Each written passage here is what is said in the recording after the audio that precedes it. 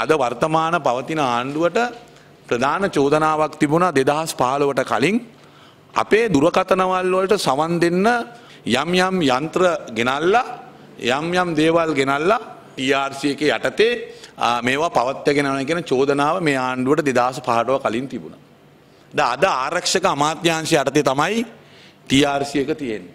එහින්දා මම ආරක්ෂක ලේකන්තුමාගෙන් අහනවා එතුමා පැහැදිලිව කියන්න ඕනේ මේ රටේ ජනතාවගේ දුරකතන ඇමතුම්.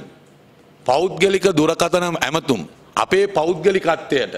එතුමන්ලා දැන් නැවත අර දෙදහස් පහලවට කලින් ඒ කරපු ක්‍රියාමාර්ග ඒ දුරකතනවලට සවන්දීම පටන් අරන් තියෙනවාද කියන එක ආරක්ෂක ලේකන්තුමා කියන්න ඕනේ.